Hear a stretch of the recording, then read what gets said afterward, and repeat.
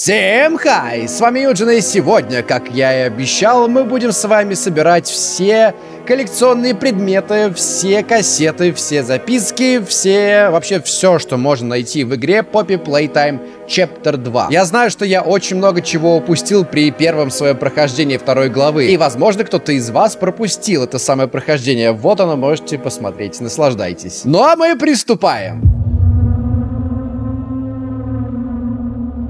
Поскольку это видео называется «Все кассеты, все записки и все коллекционные предметы», я покажу и вправду их всех. Я не хочу вырезать те, что я уже видел при прохождении, чтобы это видео было полноценным. Итак, практически в самом начале игры мы находим первую картонную статую Хаги. Давайте послушаем все ее реплики. Кому-то нужны обнимашки? Почему-то мне кажется, что этот голос не совсем подходит Хаге. Прижми меня покрепче. Обещаю, кусаться не буду. Ты не можешь давать такое обещание, Хаги. Короче, мне кажется, что у него должен быть какой-то голос, не чуть более звонким. Подойди поближе, дружок. Сожму тебя, пока ты не... О боже мой, это так неприятно звучало. Первую кассету, первую записку и первую коллекционку мы находим сразу же в кабинете Людвига.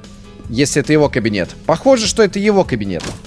Забираем цветочек. Итак, это Дейзи. Вот это мы ищем. Кассетка и записка. Вот, наконец-таки они добавили возможность увеличивать записки. Заметки. Этот эксперимент утилизировал живую крысу. Крысу кормили три раза в день в течение двух недель. По истечению двух недель крыса была убита и помещена в цветок мака. Через одну неделю электрическим током шарахнули по этой крысе, все еще в геле, в попытке ее оживить. Крыса так и не ожила. Анализ. Я все еще верю в потенциал макового цветка. Его необычные свойства заставили меня поверить в то, что правильная микстура и процедуры способны изменить жизни. Цветок мака на протяжении долгого периода времени имел большой символизм. И я думаю, это не просто так. Возможно, нечто больше, чем крыса способна дать другие результаты. Теперь давайте посмотрим кассету.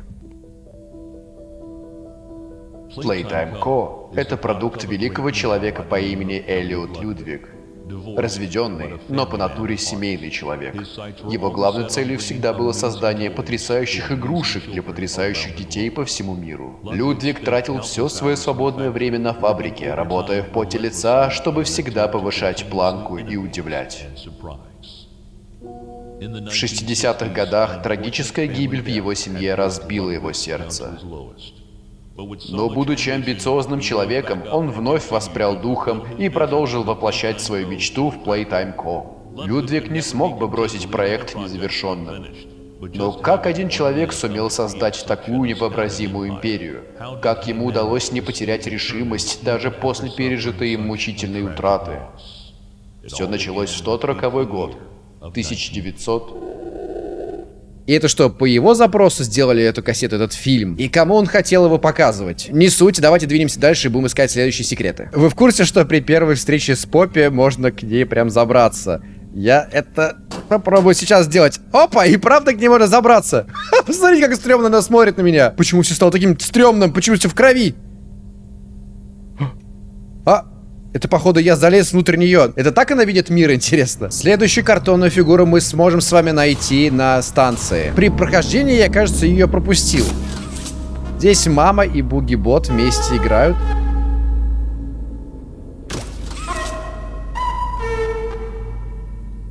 Тут одни глюки.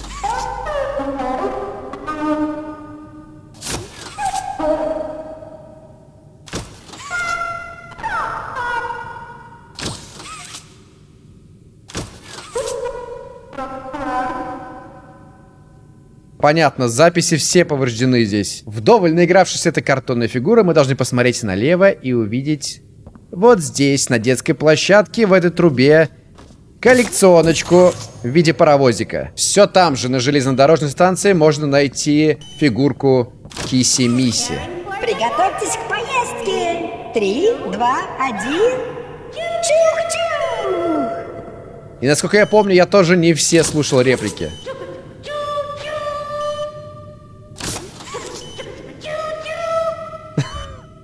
Смотрите, темп ускоряется.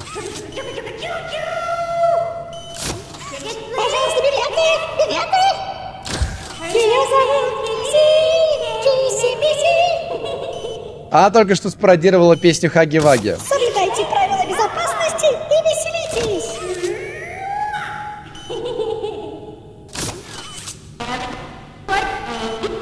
Очень прикольно разработчики намекнули на то, что произойдет в конце эпизода, ибо когда она имитирует стук колес, темп все больше и больше ускоряется, предвещая аварию, в которую мы попадем с вами в конце. Одно интересное наблюдение. Вагончики на данном паровозике не имеют дверей. Соответственно, непонятно, каким образом они катали детей на нем. Картонного Бонза можно найти сразу спустившись в музыкальную память. Мы можем активировать его прямо отсюда.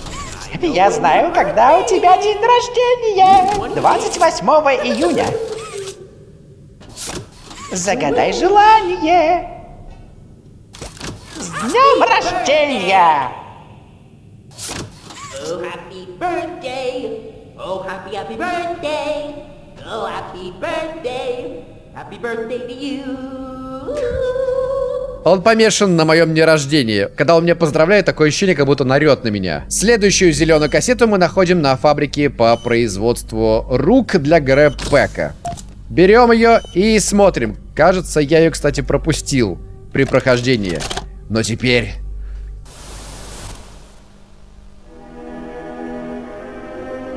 Нет, я ее не пропустил. Нет, я пропустил ее. Это как раз таки получается туториал, как пользоваться зеленой ладонью.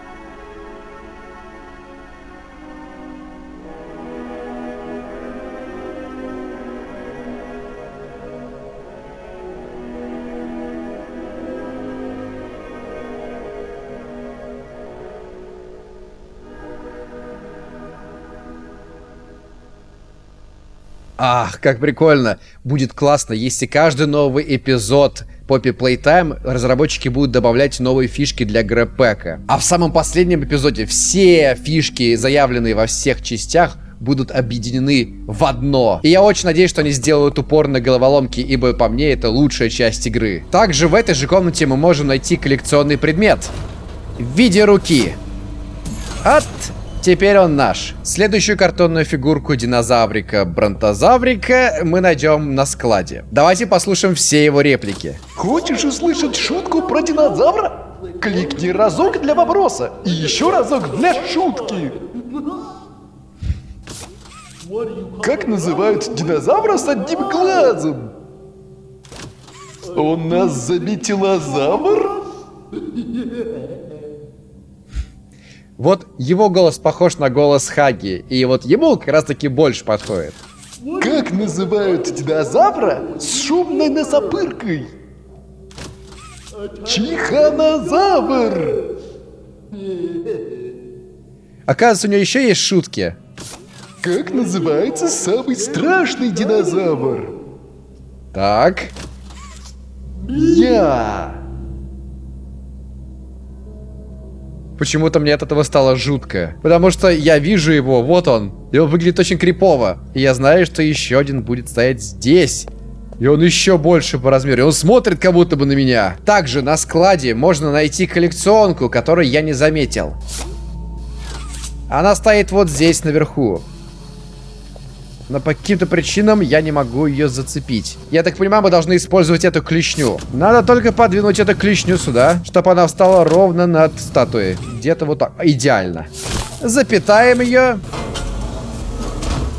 И коллекционка наша. Оп. Иди ко мне.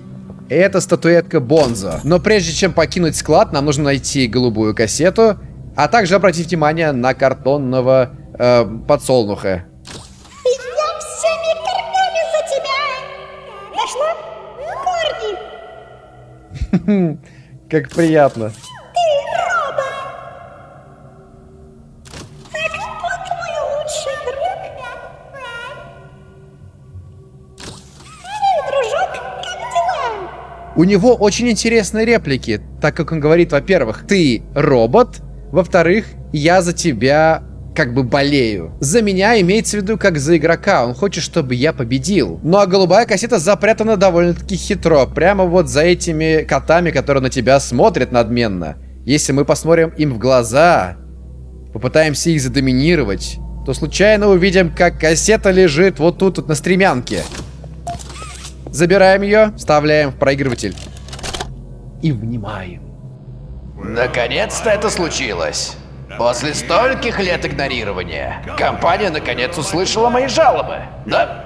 Они послушали очень внимательно. Видимо, мои слова их очень вдохновили на действие. Потому что на следующий же день я оказался здесь. На чертовом острове выброшенных игрушек. Почему я говорю сам собой? Господин на унитазе. Так представляется тому, кто сделал эту кассету, этот чувак, которого зовут Ричи. Мы уже слышали его на кассете в предыдущем эпизоде. Скорее всего, сэр Пупс Элат. Многосрат. Вот так, наверное, можно перевести это. Скорее всего, Рича превратили как раз-таки в мистера Многосрата. Еще одна коллекционная фигурка Хаги-Ваги находится, или это Кисимиси, я не знаю, по-моему, это Кисимиси больше. Да, это Кисимиси. Находится, в общем, здесь сразу после шлепни Ваги. После этой мини-игры. Далее мы поднимаемся выше и находим кошку, которая любит конфетки. Нажми кнопку, чтобы покормить меня. На! Покорми еще. На еще! Больше, больше конфет. На! Ну ладно, больше никаких конфет. Я объелся. Больше не хочешь? На! Я сказал, хватит. Жри! Прекрати.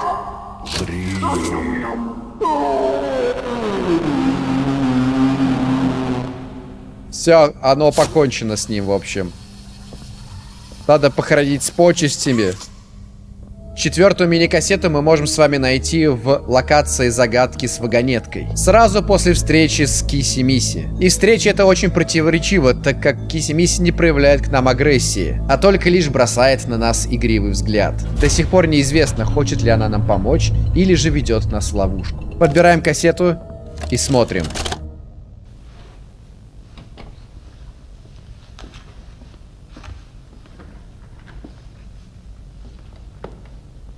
Ничего, если я сниму это? Нет, сэр. Вот и чудненько. Что ж, Маркус, что случилось? Понимаете, я шел домой в тот день, а потом осознал, что забыл свой чертов бумажник в кафетерии. Короче, я пробегаю через лобби и вижу ее. Рукоятку швабры, застрявшей под дверью в корпус инноваций. И что ты сделал, Маркус? Ну, я решил, что просто вытащу чертову штуку. И? В общем, тянусь я к ней, а рукоятка швабры прокрутилась сама по себе. И я испугался до усрачки. Я думал, что я там один.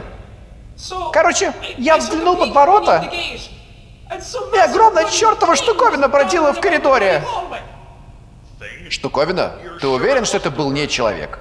Да какой там человек ростом под 15 метров с ручищами и ножищами? Маркус, это маловероятно. Может быть, ты просто увидел группу людей, проходящих мимо. Это были не люди.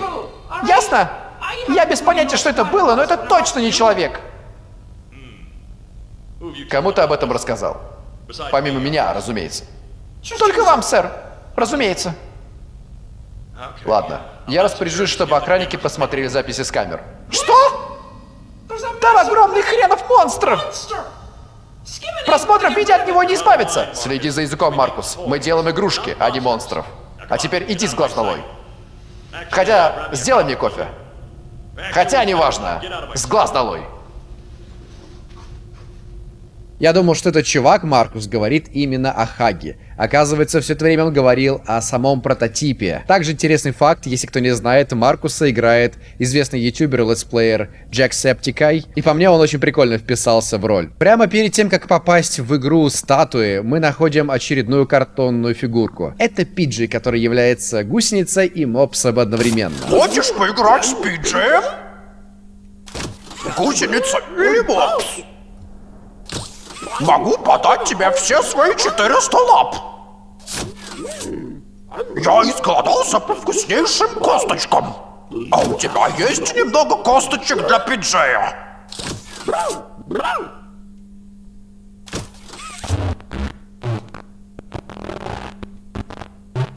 Играя в игру статуи, нам нужно забраться... О, блин, блин, ну близко.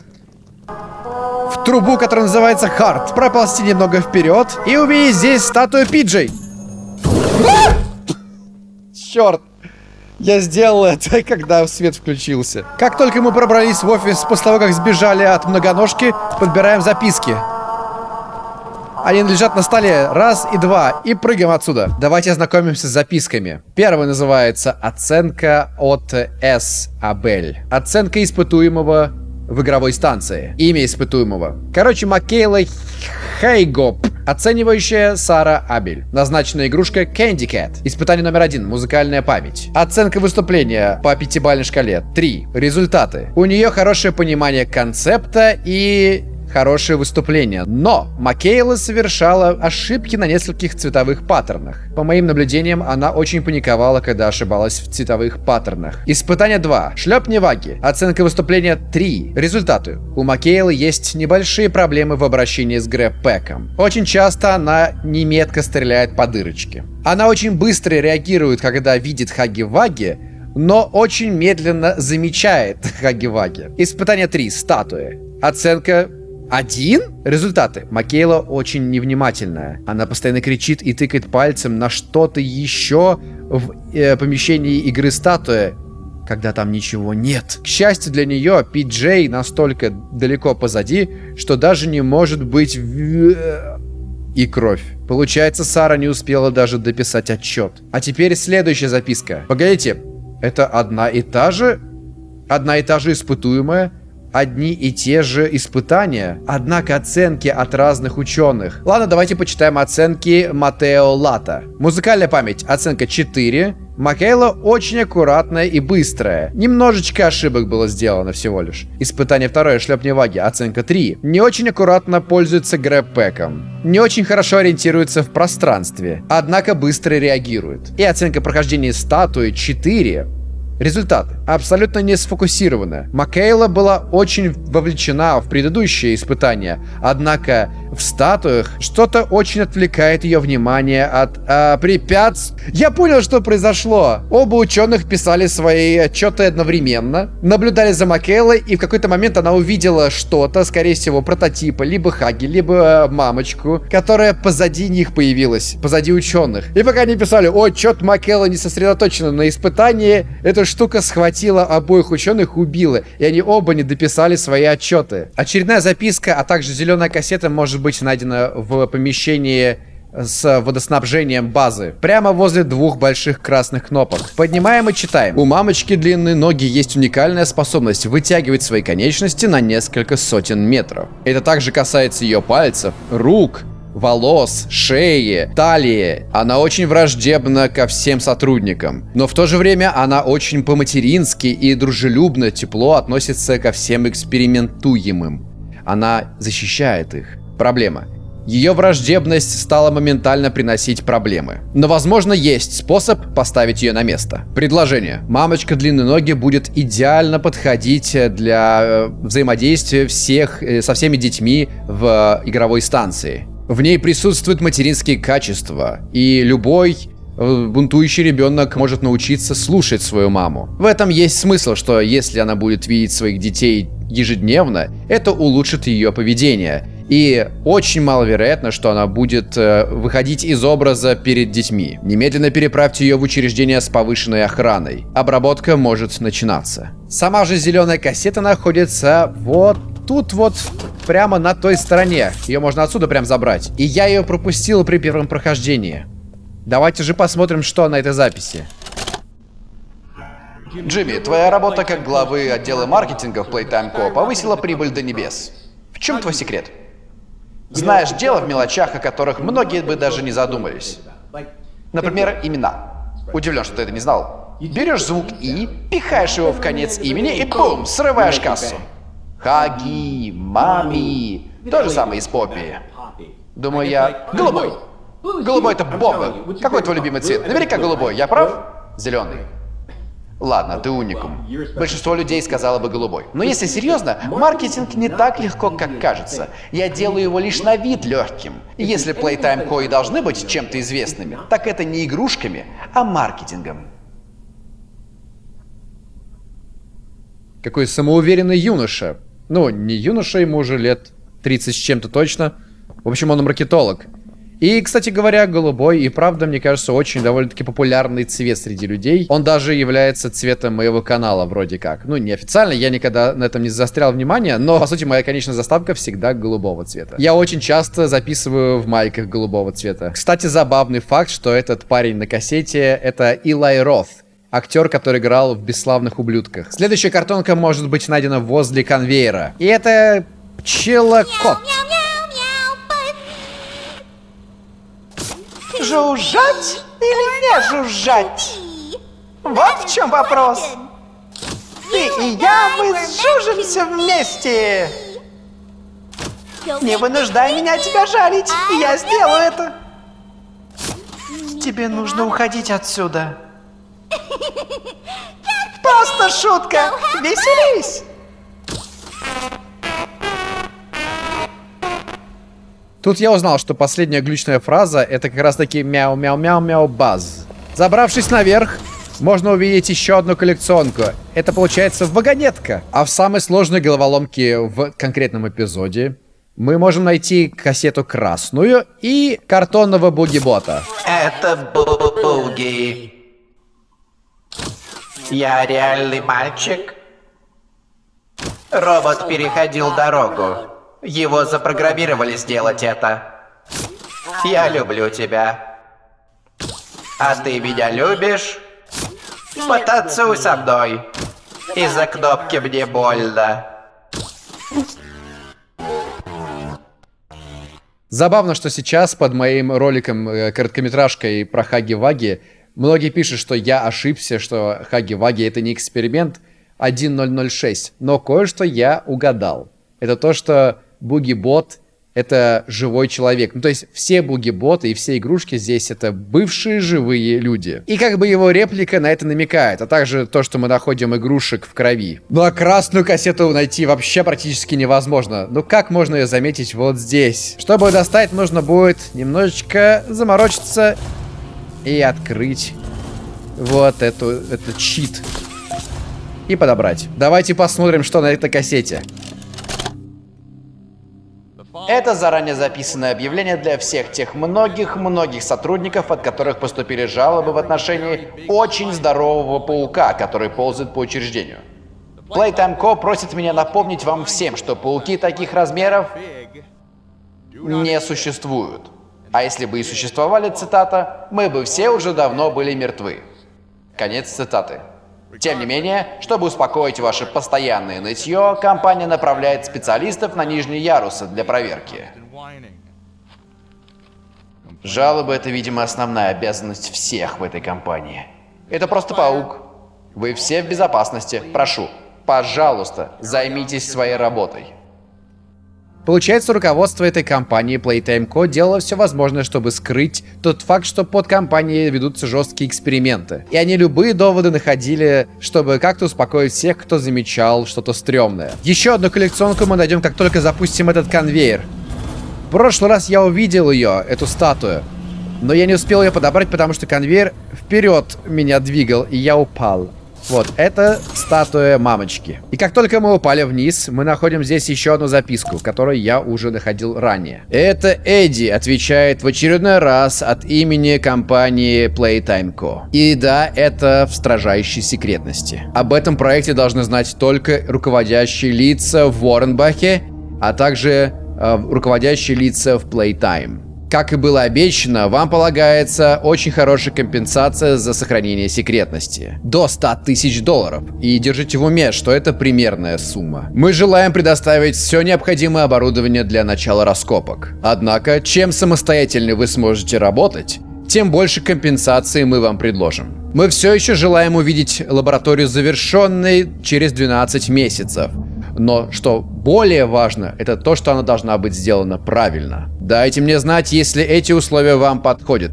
Я буду также рад и договориться о компромиссе, чтобы обе стороны были довольны. С наилучшими пожеланиями. Эдди М.Н. Риттерман. Забавный момент. При прохождении, чтобы решить эту головоломку с проводами, я использовал именно подсказку, которая лежит вот здесь.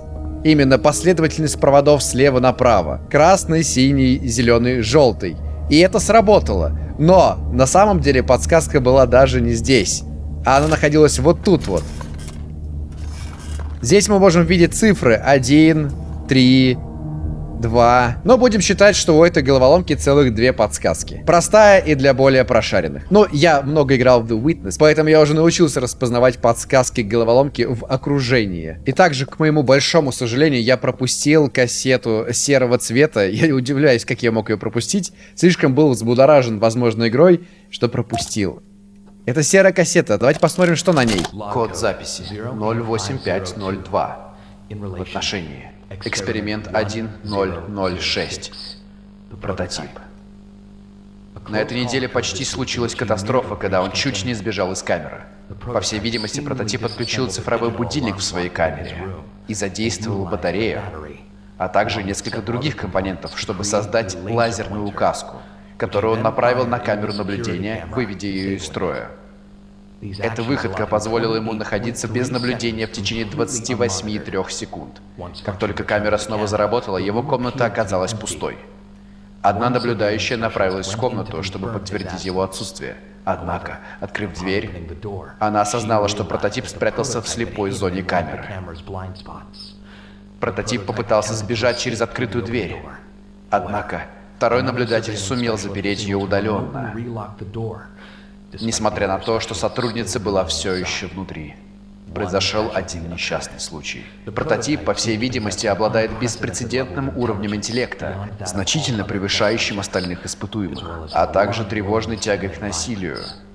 Дальнейшее подавление этих инстинктов должно начаться немедленно, чтобы убедиться, что у других экспериментов не будет подобных качеств. Эксперимент 1170 Хагиваги имеет хороший баланс несложного интеллекта и максимального послушания. Конец записи. Мне нравится, что все записи, они сопровождаются картинкой каких-то рук.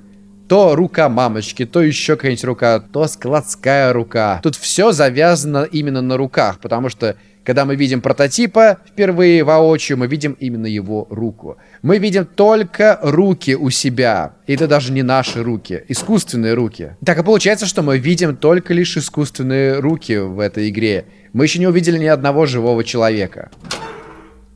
Только на записи, конечно же, на кассетах. Двух живых людей мы увидели, да. Это нарушает мою концепцию. А было бы прикольно, если бы мы только видели руки. Это было бы символично, как мне кажется. Что ж, последние две записки мы находим в кабине управления, как и Поппи, собственно говоря. Суть вопроса. Окна в игровой станции. Причина. Я не знаю, проводили ли вы когда-нибудь недели э, в комнате без окон с искусственным освещением. Но позвольте кое-что сказать. Это очень неприятно. И детишкам тоже здесь не очень нравится. Вы можете видеть это на их лицах. Я знаю, что сюда вниз невозможно впустить натуральное освещение. Но есть другие способы, правильно? Я думаю, как насчет э, окон повсюду поставить, а? Сделайте это и бам! Вот вам натуральная жизнь внизу. Я такое видел по телеку на прошлой неделе. То подземное место имело фейковые окна, а позади стекла стояли огромные лампы. И вот тебе все место освещено солнцем, как будто бы. Это очень приятно. Вы же хотите, чтобы у всех э, было хорошее расположение духа для игр? Сделайте это. Добавьте окна. И еще одна записка.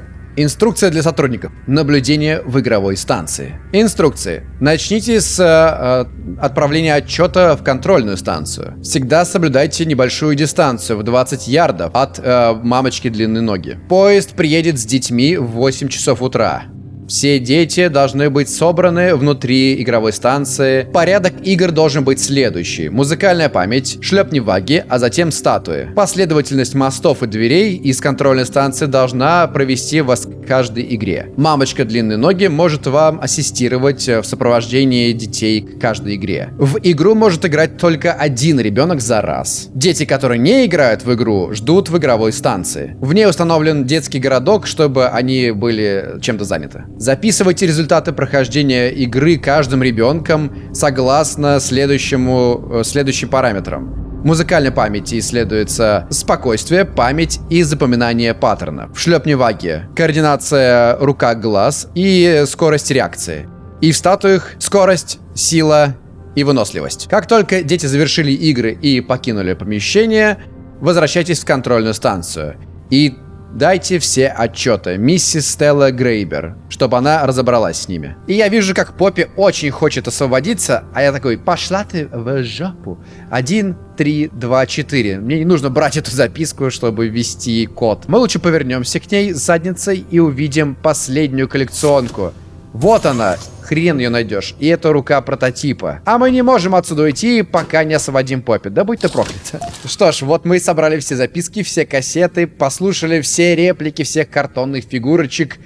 Нашли все коллекционки, вообще все секреты открыли. Это все я сделал специально для вас, друзья. Надеюсь, вам понравилось. Мне уж точно понравилось, поскольку теперь у меня есть более полное представление об этом эпизоде и об игре в целом. И я, черт подери, с нетерпением жду следующего эпизода. Я надеюсь, что вы тоже. Очень хочу знать, куда эта история будет двигаться дальше, какие нововведения нас ждут с грэппэком, с загадками, какие персонажи будут там. И мы обязательно с вами все это вместе посмотрим. И я готовлю новую короткометражку по вселенной этой игры.